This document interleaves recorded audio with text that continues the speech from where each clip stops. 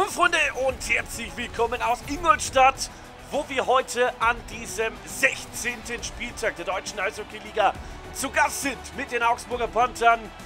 Und sehr, sehr, sehr geil, die Trikots der Ingolstädter ganz neu. Und das macht richtig Laune damit anzuschauen.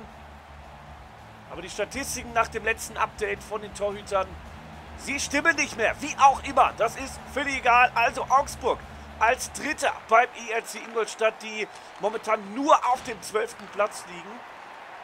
Und für Augsburg ist die Marschrichtung klar. Weiter den Aufwärtstrend behalten, weiter Gas zu geben in die Offensive Leblanc.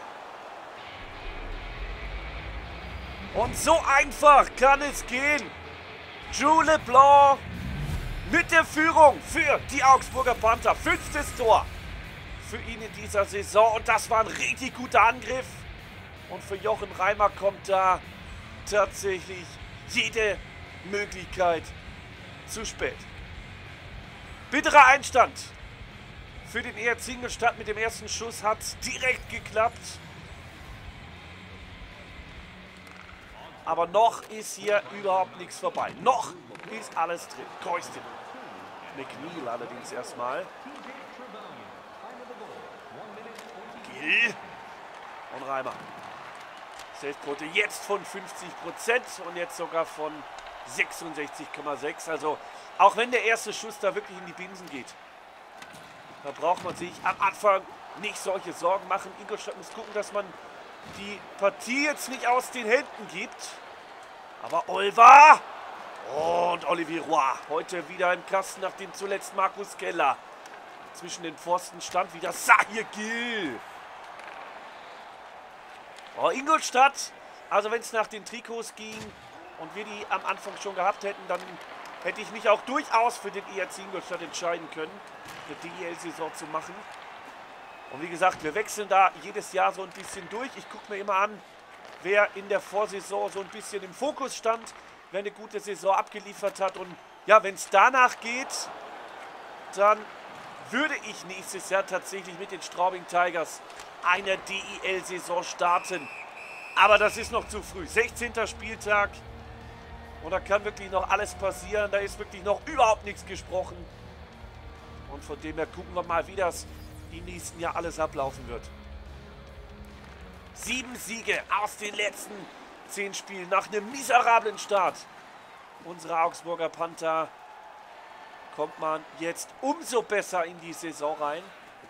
Kann sich mittlerweile oben im oberen Tabellendrittel festsetzen. Mit einem Sieg heute in Ingolstadt kann man dieses Unterfangen noch untermauern. Nächste Schussmöglichkeit. Friesen gut verteidigt von Ingolstadt und Foucault.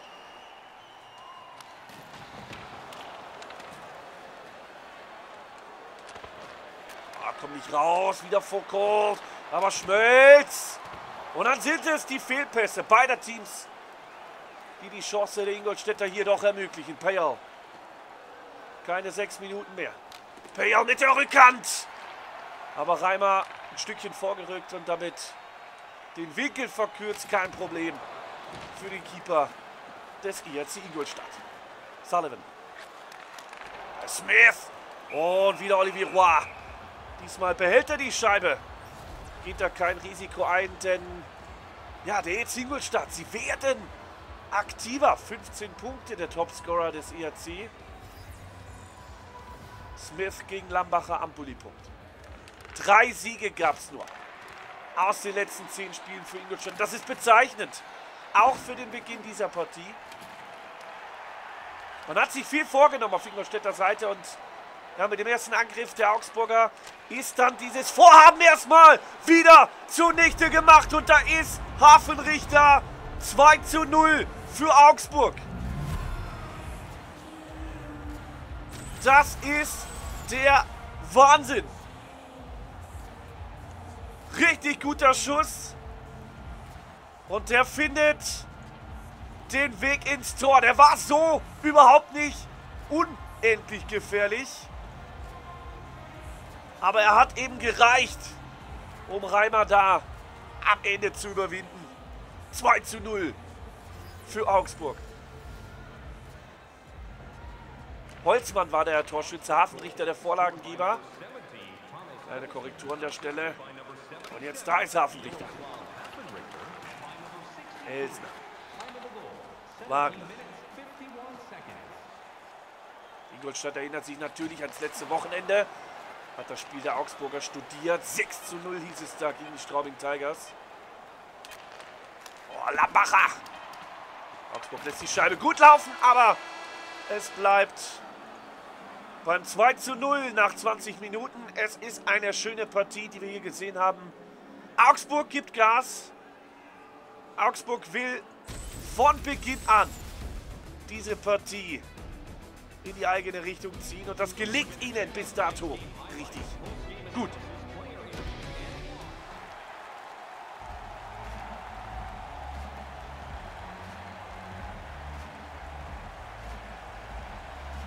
Drew LeBlanc gegen Darren Olver.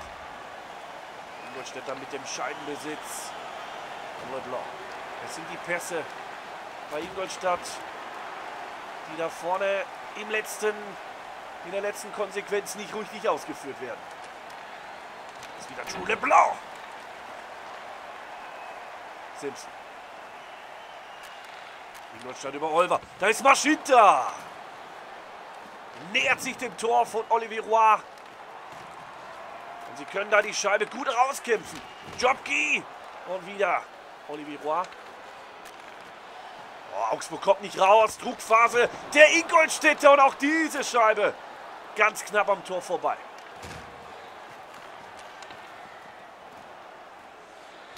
Augsburg muss aufpassen jetzt eingangs dieser zweiten 20 Minuten. Da ist Ingolstadt sehr, sehr offensiv bislang geprägt. Aber Callahan kann sich da irgendwie durchmogeln. Und Fraser. Aber klasse gemacht von Jochen Reimer. Und Valentine auf Fraser. Acht Minuten vorbei. Mittelabschnitt Ingolstadt mit viel, viel, viel Zug zum Tor. Und trotzdem, sie brauchen den Anschlusstreffer, um hier wieder das Selbstvertrauen hochhalten zu können. Vielleicht jetzt über Bailey. Kommt mit der Scheibe nicht durch. Aber Tölzer fährt vorbei. Vorsichtig, Edwards. Da ist Wagner. Scheibe wieder bei Ingolstadt. Bailey, da ist Olsen. Und Augsburg kämpft und Augsburg will diese Scheibe und bekommt sie am Ende auch. Callahan. Die Scheibe gut weiter. Wieder Callahan, aber Foucault.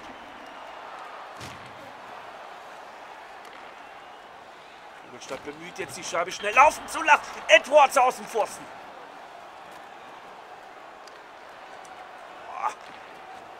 Schönes Vorchecking. Bailey. Und wieder Olivier Roy. Mehr Spielanteil im Mittelabschnitt für den ERZ Ingolstadt. Aber die Tore bleiben bislang bei den Augsburger Panthern. Hoffling. Vorsichtig, da ist es! Ingolstadt mit dem Anschluss. Und nach der Druckphase war es tatsächlich nur eine Frage der Zeit, bis Ingolstadt hier vollstrecken kann. Wunderschöner Spielzug. Und verdienter Anschlusstreffer der Gastgeber des ERZ Ingolstadt. Und sie sind wieder dran. Durch den 1 zu 2 Treffer von Elsner. Höflin mit der Vorarbeit. Augsburg muss jetzt wieder ein wenig mehr tun da vorne drin. Fünf Minuten noch im Durchgang 2. Wieder Elsner. Ja, wenn man ein Tor erzielt hat, dann hat man ein riesen Selbstvertrauen. Und das kann wirklich dazu führen, dass man auch den zweiten Treffer hier noch macht. Wieder Elsner. Oh, liegt die Scheibe frei auf Jobgede macht's! Und so schnell kann's gehen. Ingolstadt 2. Augsburg ebenfalls 2. Das ist ein bitterer Spielzug für die Augsburger Panther. Und die Partie wieder offen.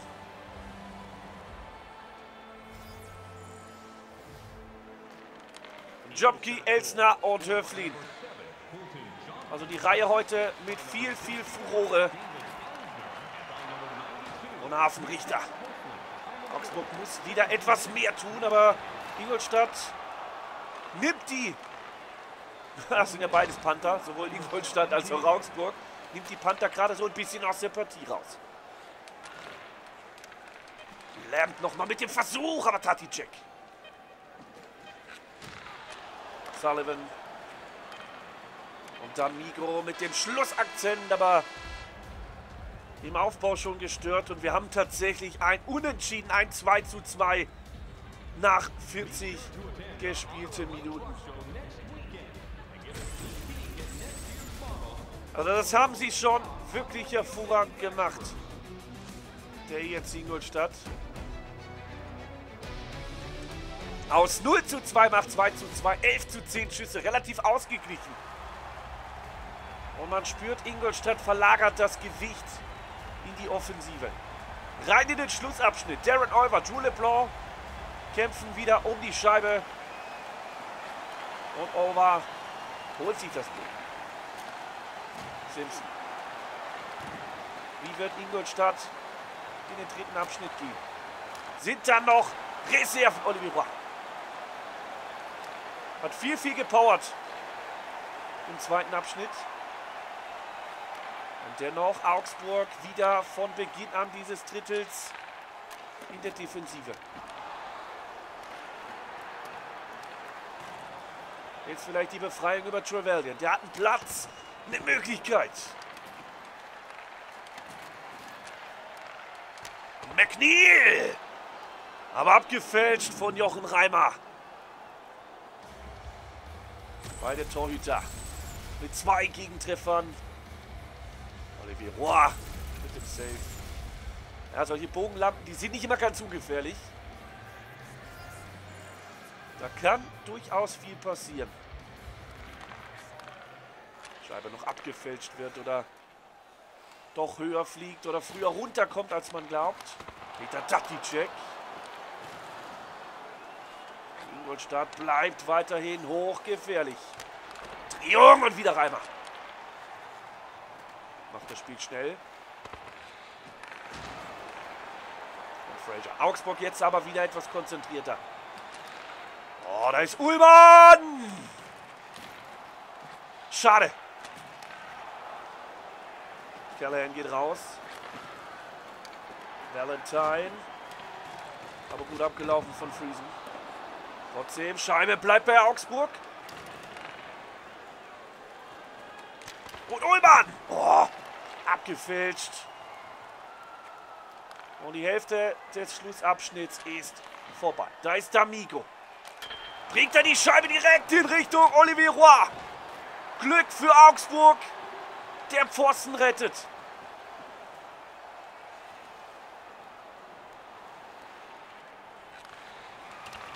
Kein Spieler da. Lange gewartet.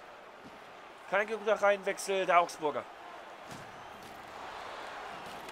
Ingolstadt kommt. Ingolstadt Bailey. Und sie wollen da unten raus. Man spürt's. Man will Augsburg schlagen. Aber Rogge gut aufgepasst. Keine sechs Minuten mehr. Wieder Peja. Und Jochen Reimer. Versucht's mit der Rückhand und Peja. Reimer hat die Scheibe jetzt erst im Nachfassen. Aber dann hat er sie. Und die Chance erstmal vereitelt.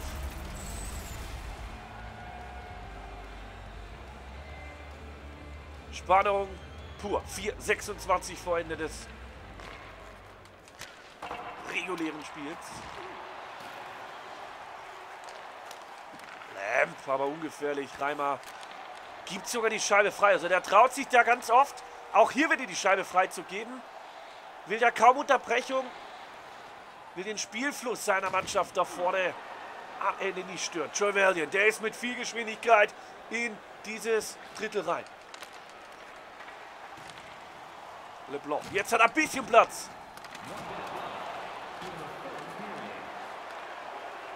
Ohne Edwards. Sehr schön. Letzte Minute läuft. 2 zu 2 zwischen den beiden Mannschaften. Wagner. Oh, Olver, Achtung! Und richtig gefährlich, wenn Maschita da an die Scheibe kommt. Dann wird es gefährlich. Edwards. Vorsichtig, Olver, Wagner. Augsburg enorm unter Druck. Wir kommen da gar nicht mehr raus.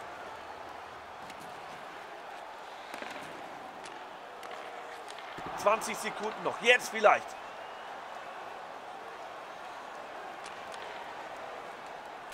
Jetzt ist die Scheibe drin. David Stieler. 11,4 Sekunden vor Schluss. Und nach einer riesen Druckphase des ERC Ingolstadt dann der Konter. David Stieler, der macht das 3 zu 2. So kurz vor Ende der Partie.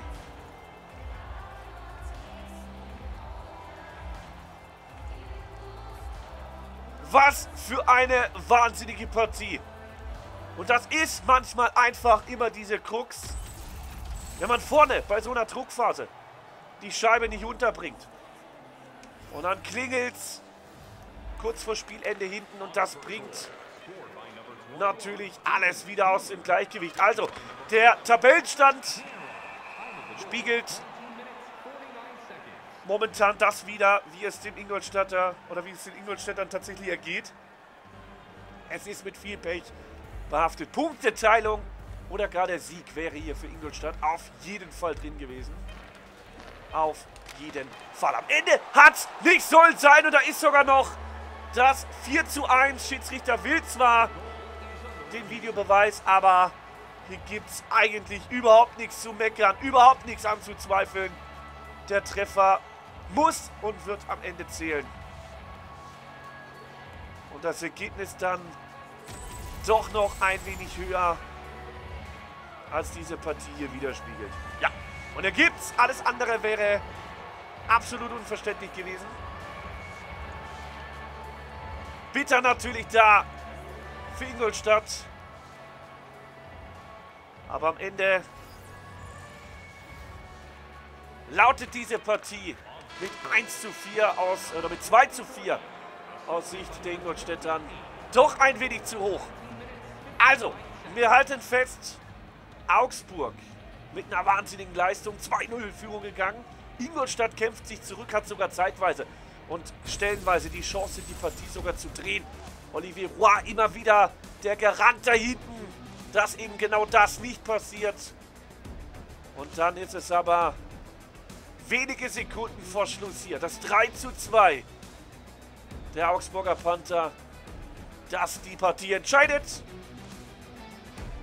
Und somit gehen die Ingolstädter erneut ohne Punkte aus. Was für Auswirkungen auf die Tabelle wird das mit sich bringen? Nächste Partie am Sonntag gegen Wolfsburg. Und das ist gleichbedeutend mit Tabellenplatz 2 der Augsburger.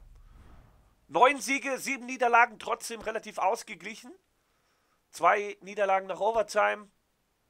Und München sechs Punkte noch vor uns. Die Eisbären Berlin können durch einen Sieg noch aufrutschen. Also wir könnten auf Platz 3 noch zurück. Dann Düsseldorf mit 28 auf der 4, dahinter 26, 25, 24, 23. Also es ist denkbar eng. Es sind nur sechs Punkte Unterschied zu den Grizzlies Wolfsburg. Schwenning mit 22 auf der 11. Ingolstadt dann ein bisschen abgeschlagen mit 17 auf der 12. Dahinter die Adler Mannheim, die jetzt aber so langsam in Fahrt kommt. Schon der zweite Sieg jetzt. Also die Adler, sie punkten und auf Tabellenplatz 14 aktuell die und Roosters. Nur 14 Zähler, genauso viel wie Adler Mannheim. Aber so ist es momentan. 16 Spiele vorbei. Und so langsam aber sicher geht es nach oben. Wenn es euch gefallen hat, würde ich mich natürlich über Daumen sehr freuen. Ansonsten sage ich danke fürs Zuschauen. Bis zum nächsten Mal. Oh your bloody LP.